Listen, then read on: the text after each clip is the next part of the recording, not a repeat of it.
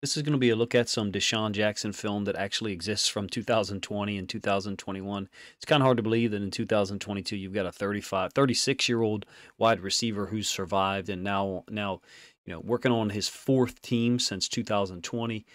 Tampa Bay, as he aged out, you know, from being mostly productive, I guess I would say 2018, 32 years old with Tampa Bay. 40, 41 catches. Did lead the league in yards per catch in 2018, but Tampa Bay let him move on. Didn't really accomplish anything with the Eagles in 2019 and 20, other than one play, which I'll show you here at the beginning of this video, which I'd kind of forgotten about. And then last year, really unique, weird, uh, unusual. And when you watch the film, I think you'll probably be as stunned by some of the things as I was. He did play 16 games last year, 22 yards per catch, almost 23 I don't know with with the amount of man that the Ravens are are are seeing since Bateman went out is the reason that they signed DeSean Jackson to try to hit you know one or two plays. That's why the title of the video is like one more time because it seems like DeSean Jackson at least once or twice we had two touchdowns last year. At least once or twice a season if he plays a significant amount of games is going to pop a big a big uh, pass play. I'll show you some plays from him with the Rams early in 2021. We know they let him go. And then uh, I did not I did not realize or could not recall that he had actually had an impact with the Raiders late last year up to uh, like December 26th or December 27th, their last win or one in their, their win streak to finish the season, uh, their 17-13 win over the Broncos. So we're going to check out some of the film. I'm not sure. Let me know what you think. Are they are they signing him just to be a guy that's that's available in, in case someone can't go or whatever, you know, or is there a reason for it? I don't know. I'm not saying that I think there's a reason, but we've seen a lot more man since Bateman's been out. Rightfully so. I mean, look, the Dolphins played man, all right, but they're batshit crazy. And that's been talked about by numerous people in terms of their coverages, what they ask Xavier Howard and other guys to do. They're nuts, you know, with some of the things they do for real. Starting with the sticks blitz zero stuff, even though it works, you know, quite well against us. Obviously, it doesn't work as well against other teams. Uh, they're nuts. I do wonder if the reason we have signed DeSean Jackson is to put him out there if we're seeing a team like the Giants again. Somebody or the Browns. Somebody who's playing a lot of man. I, am I'm, I'm not saying that I think it's going to work. I'm just wondering if that's the reason. If it's not just a emergency break glass if one or two guys that receiver can't go for a couple of weeks. I wonder if there's actually some rationale behind this. Let me know what you think in the comments section. All right, we're going to look at probably 10 or 12 plays. And look, I did select specific plays. Okay. I didn't try to only select plays where um, he get catches the football, but you will see a number of plays early in 2021 where he's open and Matt Stafford can't get him the ball for various reasons. And we know that other than Bateman, you know, Duvernay has been available twice recently on longer passes. We've been unable to make that work make that connection. And then we had the fourth and two, you know, failed catch, failed throw, whatever you want to, however you want to attribute blame. I don't care between Lamar and Tylan Wallace against the Browns, uh, Bengals, excuse me. All right, so he's up top. This is last week of the regular season against Dallas. This is not against Diggs. This is before Diggs, I believe, had changed numbers. Uh, this, I believe, Dallas had a lot of second string guys in, so it's kind of like, okay, you know, you scored a 81 yard touchdown, you know, to finish your career as an Eagle. Awesome story. Uh, even though, like you know, some of the things he's done at the goal line have uh, have backfired against him in his career. And so I thought at that point, like this is going to be a good story in terms of how DeSean Jackson ends his career, because we know he did a lot of damage with the Eagles early in his career before you know Washington, Tampa Bay, and all that stuff. Nope, comes back in 2021, and actually, I remember this against the Bucs. I think week one, maybe week two. Uh, their win, 34-24. I mean, he's open two or three times before Matt Stafford can get him the football. That is wide open. It's like a slot go seam, and then I think Cooper Kupp is running, you know, some kind of like sail concept here, and that's going to hold this safety. You know, this is somewhat similar to some things the Ravens do offensively in terms of their routes. You'll see this safety go with Cup and for inst or for a moment, for an instant, and then try to turn and get a field, but it's too late and the DB's beat by a mile. I think that's bunting, but I could be wrong. Guy that that's not bunting. That's a wrong. That's a wrong player. Sorry, that was 43. End zone angle. You'll see how poorly thrown this ball is. Now, sometimes, you know, there's pressure in his face, so he appears to have Vita Vea. I'm trying to say that name correctly now. You know, flashing in front of his face. So, understand. Okay, fine. Either way, he's wide open, and we're unable to get him the football, and the DB's able to make a play on it. Probably close to interference, but you know they don't call it. That was early in the game. Again, last year, week one, week two, another situation against man He's not winning all of these. I don't know if press man is going to be the thing. Like these vertical routes to the outside, just from the plays that I saw from last year, do not appear to be his strength. it appears to be zone, a double move, or something in the middle of the field. It doesn't, to me, this is not what appears to be his strength. And I'm not saying, you know, he can't catch these things or he didn't catch these things in his prime. That just doesn't appear to be what he would be capable of doing, at least based on this film last year. You know, this year, who knows? Because he's, you know, a year older at this point. You can see there's, you know, really no way for Stafford to fit that football in there up the left sideline. All right, another opportunity for him to make a play in that same game. You get a corner pressed up on him, and it's cover two. He is he has a real good sense of zones and how to manipulate safeties in zones. So you can see him release inside and then take it back up the field. Really cool job, if you ask me. He's got a really good sense of what the safety and corner are doing. So he recognizes the coverage and he's just selling this to the safety, and the safety buys it. Rightfully so. Looks like a good route. Ravens aren't seeing a ton. I mean, we still see some zone, don't get me wrong in some of these passing situations where the Ravens need to get someone to stretch the field a little bit since Bateman's not there, you're seeing a lot more man, especially recently. The Bills didn't play a lot of man. They didn't. We had Bateman that game. The Bengals played more man than they typically do. The Browns played a lot. The Giants played a lot, but they got Wink. It's what they do, unless it's inside the red zone. So here you can see there's a little bit, you know, of pressure on him until right as he's throwing the football and then he gets the guy right in his face, Vita Vea again. So we can't really fault Stafford for this throw. He's got a guy right in his face, severely underthrown, and also DeSean Jackson loses it, appears to lose it in the lights. You didn't see it too well. I'll run that back. But he did have the guys beat by probably five yards. Can he do that for the Ravens this year? I don't know. I'm not saying that I I think this is going to happen, that I think he's going to be that wide open, but I mean, this isn't that long ago. This is a, year plus seven weeks, right? So 59 weeks ago. Um, I don't watch every single game, but again, he has some understanding of how to sell the safety. Look at what he's doing here. He's bringing this in to let the safety start to jump it. And then once he takes it upfield, the safety falls down. That's it. It's over. I don't know. Do you think he can do that?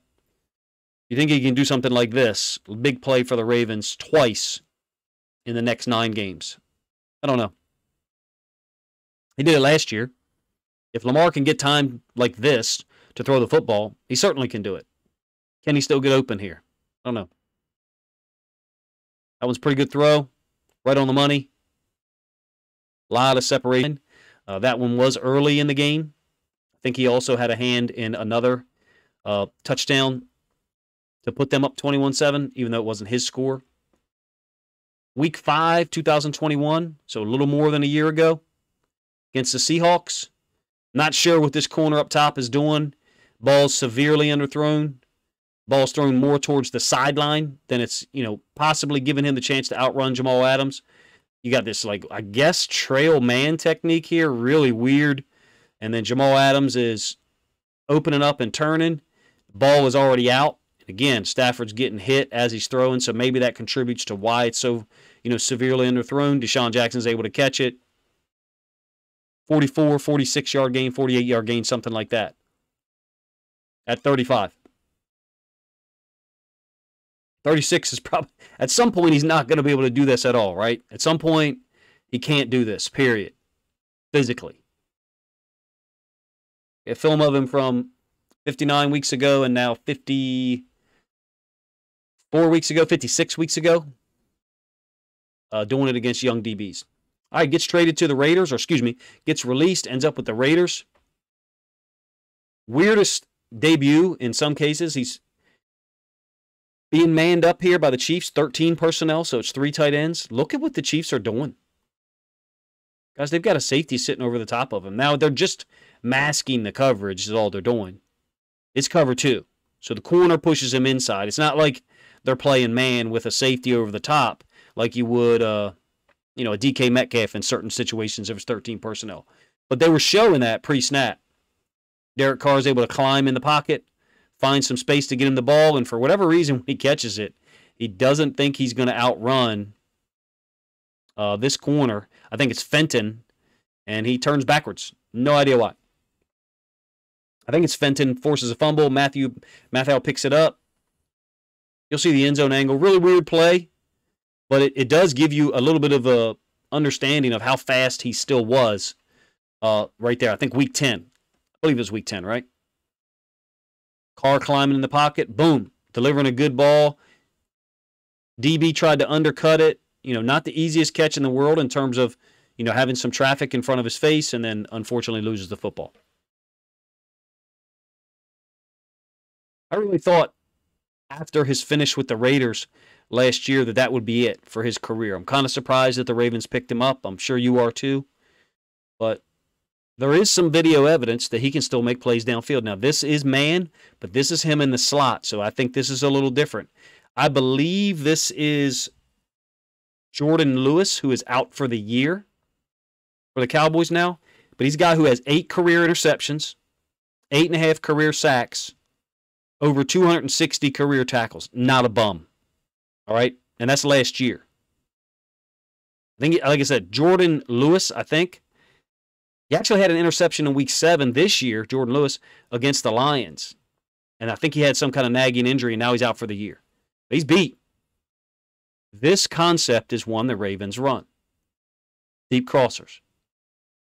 Two deep crossers. One, Two, if it's a man, you got all this space to throw the football onto. Ravens also run it with a clear out on one side and then the deep over concept.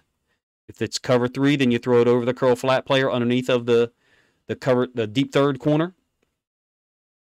I could see him hitting one of these. Call me crazy. From the slot. From the outside, I don't see him beating anyone vertically from the bottom of the numbers to the sideline. Of course, I have no idea what he looks like you know, right now. But you can see him right here being manned up. Again, that's Jourdan Lewis. He's a pretty good player. He's not a bad player at all. Eight and a half, eight career uh, interceptions, eight and a half career sacks, over 260 plus tackles. Starting corner for the Cowboys uh, for the last couple of years, to my knowledge. And DeSean Jackson beat him last year in a 36-33 win for Dow for uh, the Raiders. Down here at the bottom side of the screen. I'm not sure who this corner is. I don't want to say Brown. Maybe he's the last name, number 30. Not a ton of vertical separation, but they do get an interference call. I just don't feel like these are the routes that at this point in time, what I'm seeing on film, he's going to win and make big plays on. It seems like it's going to be double moves against zone because he's a veteran. He's got great awareness in terms of what the zone is and how to manipulate the safety mid play, which is an awesome skill. That's a great skill. Maybe you can teach to some of our guys.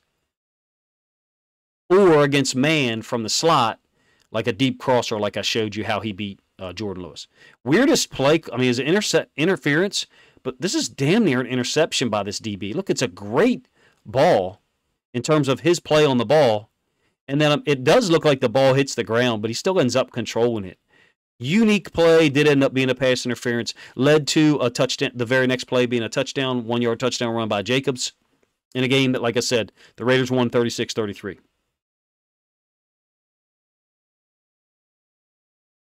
Wasn't done in terms of impact. Week 16, as late as week 16 last year. You know, if it sounds like I'm trying to sell you that DeSean Jackson's going to have a, a ton of impact, that's not what I'm trying to do. I'm just I'm showing you the film, and I can't lie about what the what the film shows. I mean, I just can't. Right? If you can, then good for you. Week 16 against the Broncos. This is Ronald Darby, the bottom of the screen, who's a starting corner for the Broncos this year. Was a starting corner last year. If you remember him, he played for the Eagles when they won the Super Bowl. He meaning Ronald Darby. It's a speed out. Jackson had four catches, 44 yards, I think, on five targets that game. Speed out. Look at the acceleration when he catches it. It's there.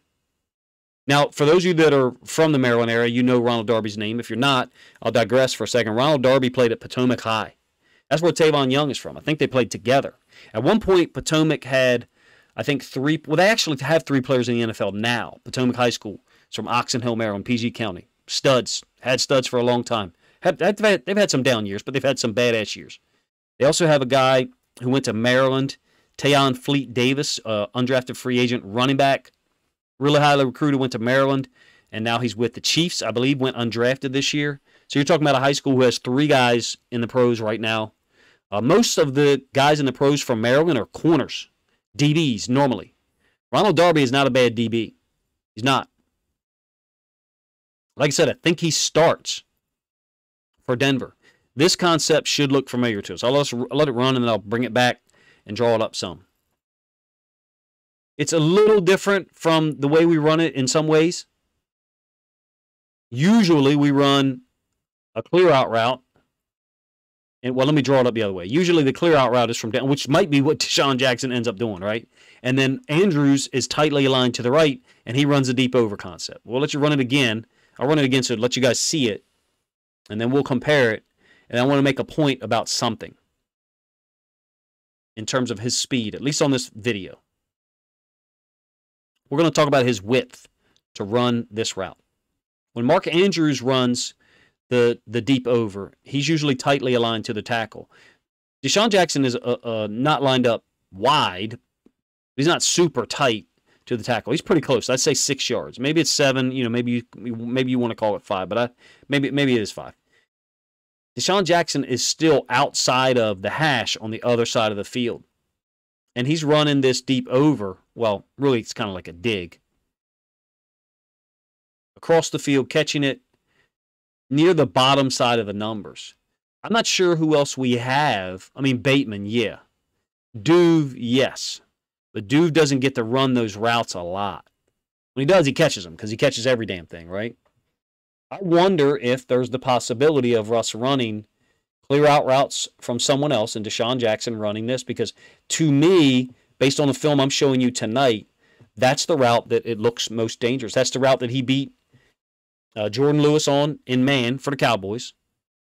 Uh, that's the route that I showed you earlier. I forget who it was against early in this video. And you can see all the space that's cleared out here. Good throw by Carr. Pretty cleanly beat, again, a starting corner in the NFL last year at this time and a starting corner right now, I believe. Back to the first play, 2020. Look, you guys let me know. Um, it looks to me like he's a guy who could possibly pop a big play or two for us. Is it going to happen once a game? No. There's too many guys who need targets. Could he get in there for six, eight, ten snaps a game and run some vertical stuff to try to clear out some of the field? Yeah, I guess he could. Against certain zones, if we think we're going to get zone, it might not be a bad idea to to have him in there because, and look, just so you know, uh, um, this is going to be difficult for me to explain succinctly certain defensive coordinators play certain coverages in particular parts of the field. Like, for example, Wink Martindale wasn't going to play cover two for when he was DC for the Ravens, and even still kind of for the Giants, until the ball was like down in between the negative 25, 26, 28, and like the negative 18. Because he didn't trust his safeties and his guys to cover the width and the and the verticality of the field in the in the cover two zone. I'm talking about trusting his safeties. But once the field was compressed there and the safeties didn't have as much depth to cover, he felt comfortable doing so. It appears as if he's the same way still with the Giants because those tendencies kind of held true against the Ravens in the game they played in week six. What's my point in telling you all this? My point is if someone has a tendency as defensive coordinator to play cover two in a certain part of the field, let's say midfield for whatever reason, it might not be a bad idea to get DeSean Jackson in there.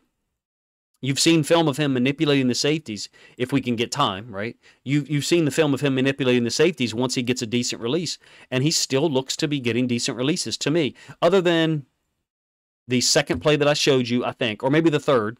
It was the second play against against um it was the second play for the Rams where he basically got covered up and Stafford tried to throw it down the left side, lined up at the top of the screen, you know, nothing open at all. And then the one against the Cowboys, I think it was Brown, number 30 I think it's Brown, that was called a DPI, defense, defensive pass interference, where the ball hit the ground and the guy looked like he kind of intercepted it. Those were the least quality releases, in my opinion. You can let me know what you think. Uh, I would love to see him score one more touchdown. I would. Hell, I'd love to see him score five, but I just don't think that's going to happen. Does he have the legs for playing 30 snaps a game and running vertical routes? Probably not. You know, does he have the legs to get out there six, eight, ten times a game? You know, maybe 14 and run some vertical routes, stretch some stuff, particularly if we think we're going to get zone or if we think we're getting man and we want to run him on a deep crosser. He appears to still have some ability. You let me know uh, if you agree. Do I think he has enough ability to beat the highest level corners in the NFL? Well, no. But I've shown you some good ones Ronald Darby and Jourdan Lewis that he's he was able to beat in 2021 makes me wonder uh, what impact he'll be able to have if and when we actually see him get on the field. You guys let me know what you think of my thoughts and some of the film I showed you in the comment section.